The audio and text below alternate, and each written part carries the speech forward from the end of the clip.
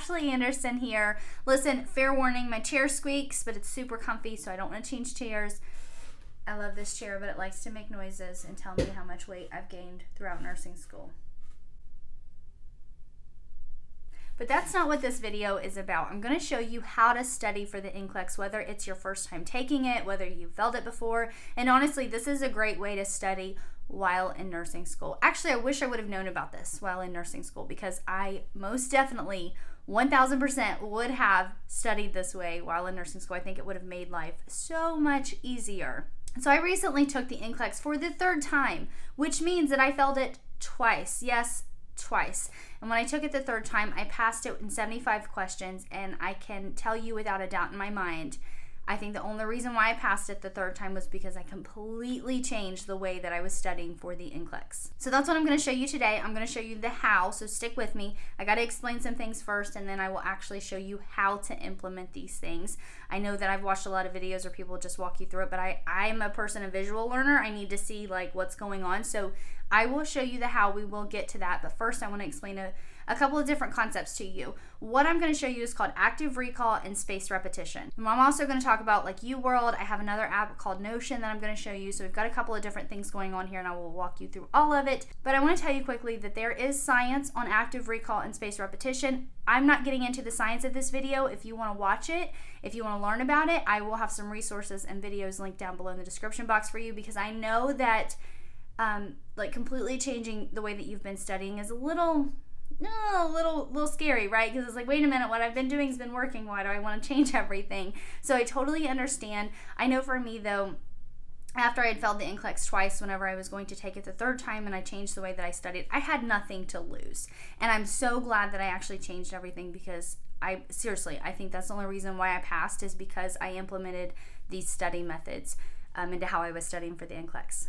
But okay, enough blabbering. Let's go ahead and dive in. The first thing that we're going to talk about is space repetition.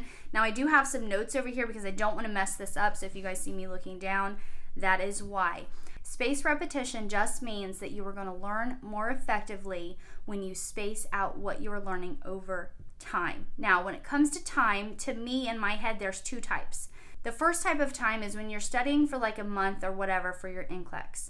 The second type of time would be studying for a couple of chunks of time each day. Now, the best part is depending on what you're studying for, you can use either one of those two types of time or you can use both. For example, if you're studying for NCLEX, you can study for a month. But if you're studying for a nursing exam, well, we know we don't have a month to study for those, right? Um, it's usually just like a week or even less time than that. So, with that, if you're studying for a nursing exam, you'll need to study for a couple of chunks of time each day. I actually used both whenever I studied for the NCLEX. I um, I only studied for a couple of hours each day, and I did that for I don't know, it was about a month, a little over a month or whatever. So I wasn't cramming, I wasn't sitting down for hours because that's actually what I did when I studied for the second time. So when I went in to take my NCLEX the second time, y'all, I'm not even kidding, I spent all day. The only times I wasn't studying was using the restroom, if I was eating, if I had to take a shower, and my son was also doing virtual learning at the time. So anytime he was working on his homework, um, is when I wasn't studying. The rest of the day, I was literally setting up my computer, either at my desk or at my kitchen table, all day long, studying, studying, studying. And I promise you that does not work because your brain becomes like a bowl of soup. and you stop retaining information. It just it gets to a point where you just hit like this brick wall and nothing is staying inside of your mind anymore you guys, I left out a very important part about space repetition and I cannot believe it. I was sitting here editing and I'm like, did I not film it? Did I not record it? Like what happened? Apparently I am losing my mind, which that's nothing new.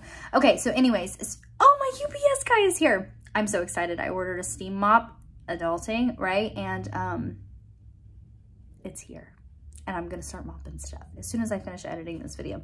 Okay, back to what we were talking about, space repetition. Space repetition is not only the time, it's also spacing out what you are studying. So let's use medications, for example. Let's say today you review psych medications. Tomorrow you review cardio medications. The next day you review maternity medications along with reviewing your psych medications again. The next day you review cardio medications along with maternity. Do you see how you're like spacing out what you are learning and you're not reviewing the same stuff every single day? And then that a way you can um, you're getting more time in at learning these things. Does that make sense? I hope that that makes sense. Again, I have other videos linked down below in the description box, probably people that explain this way better than I do, but you guys can check those out. But spaced repetition is the time, and it's also spacing out what you were studying and when you were studying and reviewing those things constantly. He's knocking on the door. Okay, I think that explains it. I gotta get my steam mop. So that's what spaced repetition is. I can't show you the how of that. That's something that you will have to work out um, you know, pick out your chunks of time. There's studies that show that you shouldn't study for more than 50 minutes at a time. Some say 30, some say two hours. It, that's entirely up to you. How long can you sit down and actually focus and retain information when you are studying? If I exceed two hours, at that point, I'm not learning anything. I'm just sitting there wasting my time. Um, and there were times closer towards my NCLEX where um, I had been studying, it felt like a lot, but it really wasn't a couple of hours each day, that I would just study for 30 to 45 minutes and I would take a break for a few hours and then I would come back, study for 30 to 45 minutes, take a break. You see what I mean? That's what spaced repetition is. So I beg you, please do not sit down for hours and hours and hours trying to study. It doesn't work for most of us. Um, I have watched some videos on YouTube of people that it does work for, but it did not work for me. It didn't work for me in nursing school either. Actually, let me give you an example of when it didn't work. Going into my fifth semester, our very first exam was over cardiology. And I love cardiology, I think it's very interesting to me. And so I was so excited and I studied my butt off for that exam and I bombed it. Absolutely bombed it. It was terrible. It was ridiculous. And I kept thinking, why and what in the world happened? And now that I look back, I realize I studied too much for that exam. So much that I wasn't actually retaining the information. So that's the first thing, that's spaced repetition. Next up is active recall, and this one is very important. Listen, stick with me here. I know I've been face to camera and I haven't showed you the how yet. I promise it is coming. I have to explain it first, and then we will take a look at my computer, and I'm gonna show you how to actually implement all of these things together. Do you know how your instructors are always saying, like, do practice questions? Practice questions, practice questions, practice. I mean, it's like engraved into your brain. It's kind of that same concept of if you didn't document it, it didn't happen. Like you just you just know, and they're constantly telling you to do practice questions.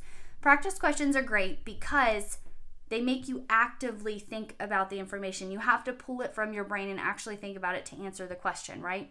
But the problem with practice questions is that when you do them and you answer the question, whether you got it right or wrong, doesn't matter. Once you move on from that question, it's gone. Now, some of you guys are like me and you've taken notes, right? We have handwritten notes, and I actually have some. I pulled this binder out. This one was from fifth semester. And you guys know how it is. We have a ton of different notes in here. Let me open this up and I'll show you. I mean, y'all know. Look, you have all these notes, right? And let's say you're answering practice questions, you get something wrong, you're looking at the rationale, you're writing down that information. Well, then you come back to review your notes you're not actually having to actively recall anything because it's right here in front of you. If I was to sit down and study these notes, uh, this is talking about disorders of the anterior pituitary gland. And I'm going to start reading all this. Primary pituitary dysfunction is a problem in the pituitary. Secondary pituitary dysfunction is a problem in the hypothalamus. I'm not actually having to think about anything. All the information is there. And that's the problem with just taking notes and reviewing your notes. It's not making you recall that information. Now, I'm not just going to sit here and tell you to do practice questions. Do practice questions, do practice questions. Yes, I want you to do practice questions, whether it's for NCLEX or it's for your nursing um, nursing exams. It doesn't matter. Yes, do practice questions. But there's a big but. Don't just answer the questions and don't just write notes down all right? Because you're not having to actively recall that information. And here's where I'm going to show you how. So we're going to jump over into my computer and I'm going to show you Notion, which is an app that I use. It's a note-taking app. We're also going to show you UWorld. Now, I highly, highly, highly recommend UWorld for the NCLEX. I didn't have it the first two times. I got it going into the third time taking the NCLEX and it helped me tremendously. There was a lot of light bulb moments. The rationales are incredible. I will show them to you. I'm going to show you a few questions on there. Um, but I really do recommend UWorld. Now, if uh, you're in nursing school and you're not ready to, to get UWorld yet to start studying for the NCLEX or whatever, um, I think we had Evolve is what it was called, and I used to do practice questions on there. There's um, there's a tons of different resources that you can do practice questions. I do recommend practice questions 100%, but we're going to do them a little bit differently. So let's dive into my computer and I'll show you what I'm talking about. Okay, so here we are inside of Notion. And inside of Notion, I have a page titled NCLEX Study. And within this page, I have all of these other pages here. And for example, if we click on maternity, in this page, I have even more pages. So if we click on newborn, labor, and delivery, this is where I have all of my questions. This is where that active recall comes into play. Now I'm going to pull up UWorld really quickly. Let's just create, um, oh gosh, let's just create a random test here just to give you an example of what I'm talking about. So let's just do like five questions. We'll generate the test inside of UWorld. And so here's our question. And what I would do whenever I was doing this is I would actually pull up Notion and I do a split window. So we'll split the screens here. And so I have Notion over here. I'm going to actually go back and we're going to go to random notes from practice questions. And so here's here's a list of a ton of different questions that I've done inside of Notion. These are questions that I created myself. So for example, let's say over here in UWorld, the nurse provides teaching for a client newly prescribed disulfiram for alcohol abstinence. What information or which information is the priority for the nurse to include? Um, disulfiram is not a cure for alcoholism. Importance of continuing to see a therapist. List of everyday items containing hidden alcohol. Yes. Um, medical alert bracelet should identify. No. So we're going to hit submit. So we got that one correct.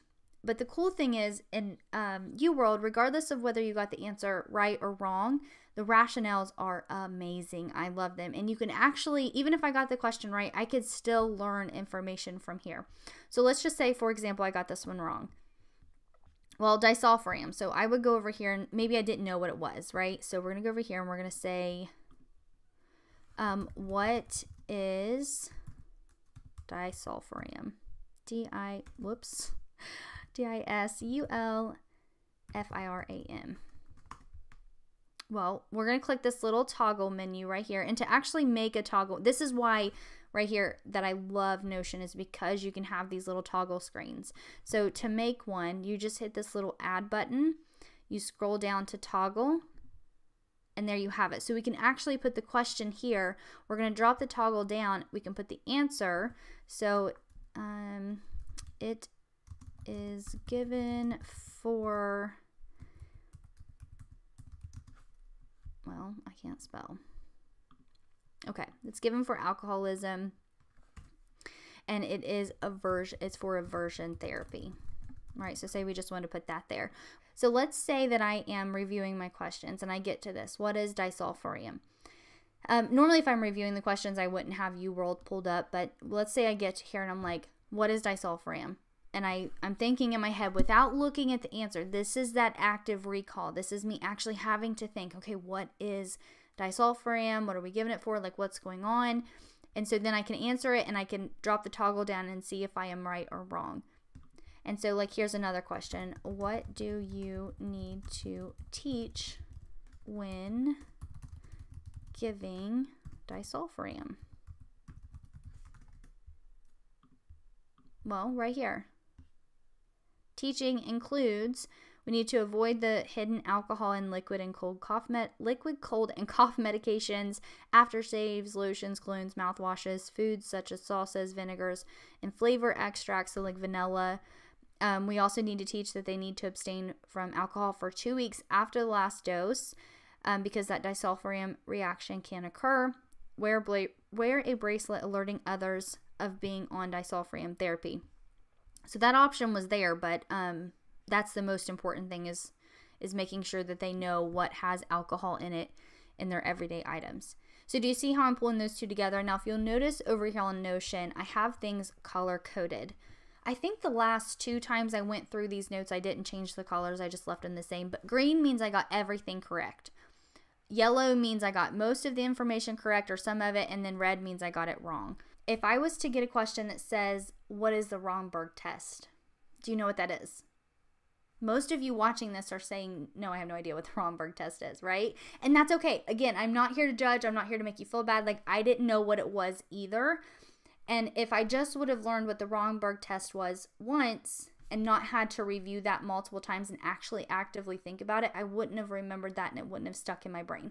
So, right here, the Romberg test. It's used to assess the patient's perception of their head in space and their body in space. And so, it's used to determine the reason for loss of coordination. I didn't know that, and that's totally okay, but the problem was is I would do these practice questions, I would read over the rationales and then I would make notes, but when like I said when I was reading the notes, I wasn't actively thinking about that information because it was all written right there in front of me.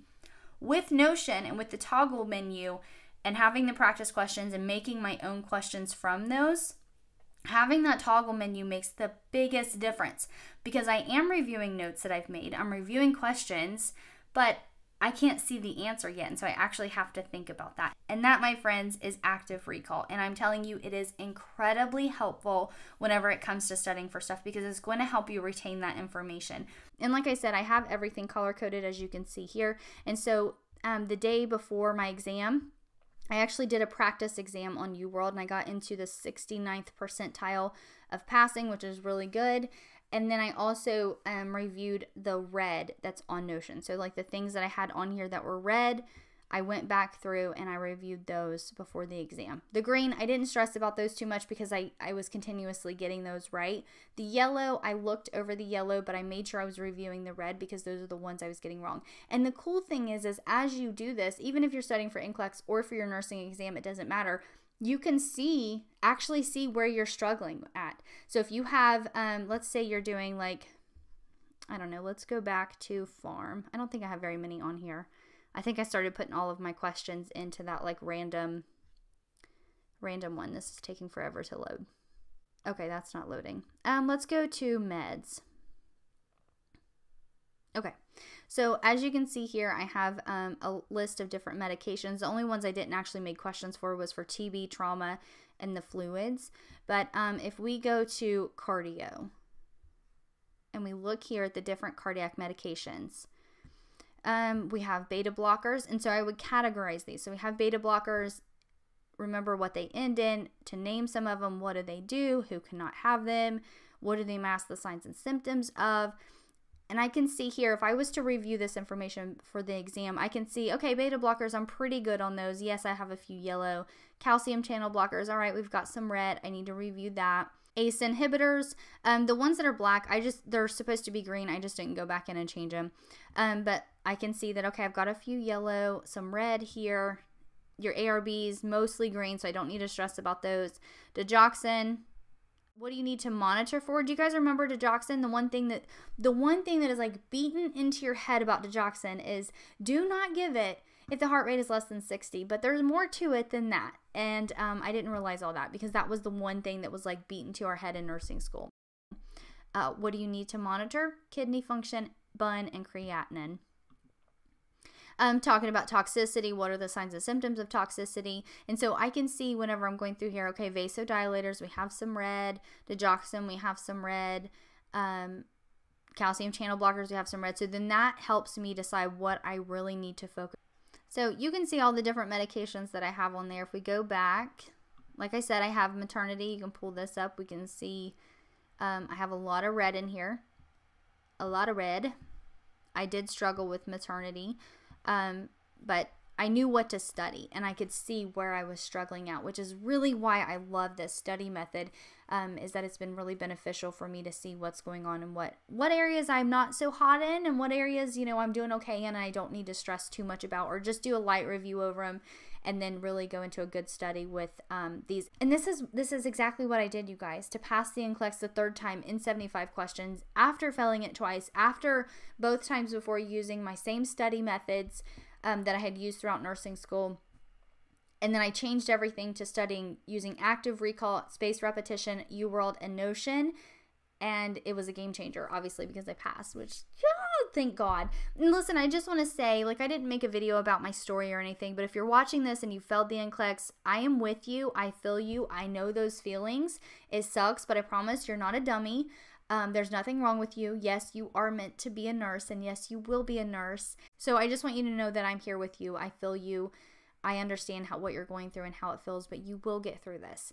I want you to implement this this way of studying if you've not done it before. Really dive into it. Do the space repetition along with the active recall. Make your own questions. Get on Notion.